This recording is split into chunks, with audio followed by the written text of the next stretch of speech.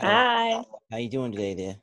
Good. How are you? If it's um a little chaotic here, um, or if you hear pu- puppies yelping, we just got a new puppy, so it might be a little crazy. You got puppies yelping. I got my phone dinging with spam. We'll be okay. Um, okay. Yeah. So if it gets crazy, it's because I'm breaking up uh puppy fighting. Let me get a quick shot of it? Can we How see the puppies or no? yeah. Hold on. Let me see. Let me see. They're like, here, come here, buddy. Say hi. Hi, Ooh. What This is Willie. This is Willie. Um, he's a German short-haired pointer. We just got him on Thursday, and we have another one like him, except he's black. Hi, buddy. Oh, he's a good boy. What a handsome fellow. That's great. he's a good boy. Yeah. So he we're just adjusting. Thank God I'm actually working from home because it's just chaos. He's good boy. I don't know how you do it. And on top of it, you also manage with a job and a new puppy to be the Tauntonian of the month for August Oh my goodness. It's been a crazy month, I'm not gonna lie. Like the backpacks were crazy. Um, I'm doing like teacher bags. It's just crazy, but if I wasn't working from home, I would never be able to do it. Thank God I'm home. Well, that's something. Congratulations. And let's talk a bit about uh, Operation Bags Packed, Lauren. How did you, how did you start this program? So started, I'm on my fifth year. So fifth year, so Kara, she's a teacher um, at Chamberlain. And so I kind of started it uh, for her and Susie and a bunch of people I think that you graduated high school with, and they're all teachers. And um, they were going to school every day and pretty much they kids were coming to school with no bags, no supplies. So um, hold on one second. They were coming to school. Oh, sorry. They were coming to school with nothing. So um, and the teachers were having to, you know, not having to, but the teachers were taking it out of their own pocket to make sure that the kids had backpacks and school supplies, and you know, they're not refunded any of that money. So I kind of started it with that precedent and went from there. So it started with 11, I think I started with 11 backpacks. It was like 11 or 20. It was 11, 28, and they went from 200 to 260 to 800 bags this year. Wow. So, a yeah. Congratulations. How many years have you been doing it? Five years. So this is my fifth year. How did it feel when i i, I saw you made it into the Taunton Daily Gazette? that Yeah. cool?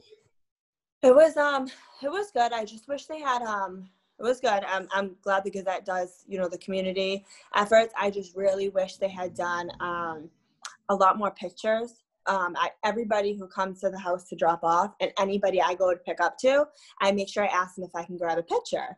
Just because I think it's nice that other people can see the Taunton community giving back. So I just wish they put more pictures in it. They kind of just grabbed one picture and did the article and I was like, oh man, I sent them like 70 pictures. I wish they had put a lot more pictures in it of the community because it wasn't just me. It, it was a community effort. So I mean, I just wish they had put a lot more of the pictures in and the you know, but they it, it's okay. Not everybody can be as fine as a reporter as as we hear uh, talking Taunton. What about your goals for next year, Lauren? What do you want to do? So, it? Oh man, next year's gonna be tough. I don't know how I'm gonna be 800. My goal this year was 300, and I got 800. So I don't know how. I don't know. I don't know if I can do more than 800. I hope I can. I don't know. I, I think so, and I'll I'll lend a hand this however I can next year because it's very impressive. It warms my heart. I have a lot of teachers in my family. thousand. Yeah, and this year is is tough. This year is rough. The teachers are. I'm sure you've seen it on Facebook, and I know you have plenty of teachers in your family. It's eh, they're struggling. I mean, like the the parents are struggling, the teachers are struggling. It is just it's rough. Um, I know we're one of the only communities right now, south of Boston, that are doing remote learning.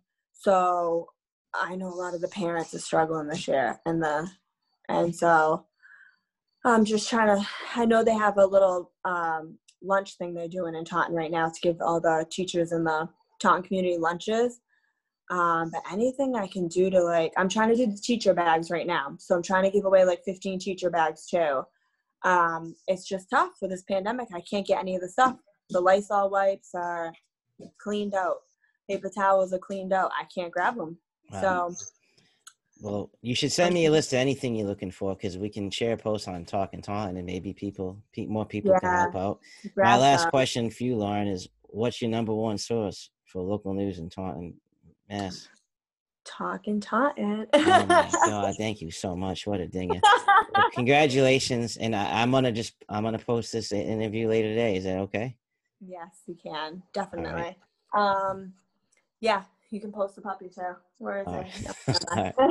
All right. Great work. Congratulations. Thanks so much. I will talk to you soon. Bye, Lauren. Bye.